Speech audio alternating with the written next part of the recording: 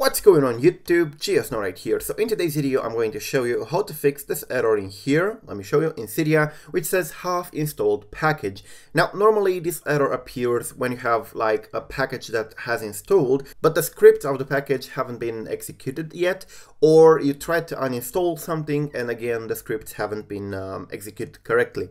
So in order to fix it you have to dig a little bit with Filza or with SSH. Now if you do have Filza installed it's pretty simple to fix this error.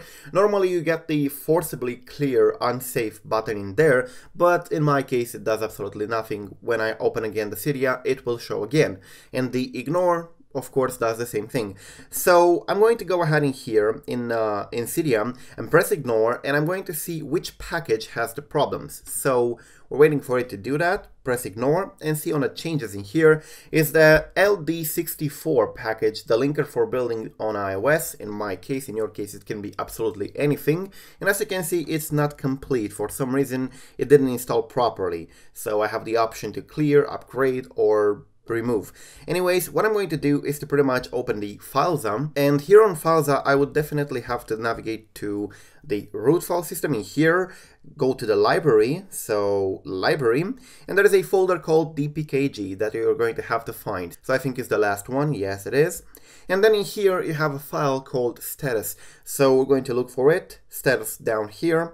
You have to open this one with the text editor. If you don't have Filza, you can also do this via SSH using Vim, but I recommend it to install Filza and have it installed in there. So text editor, and there we go. Now this will contain every package that you have installed and its status. So what we have to do is to find that one that is broken. Alright, so I found it here. It says package organization.coolstar.ld64 and it says status install reinstall required half installed. So what I have to do in here is to simply change this one to install OK installed.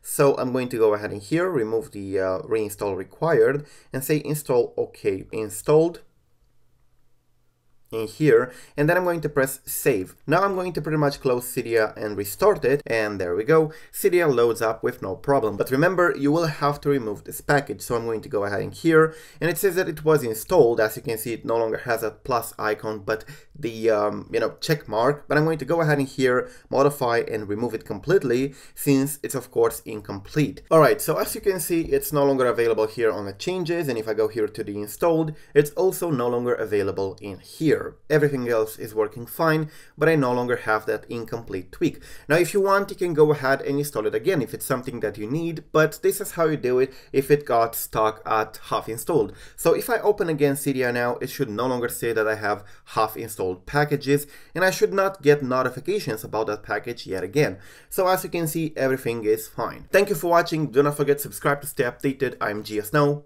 Peace out.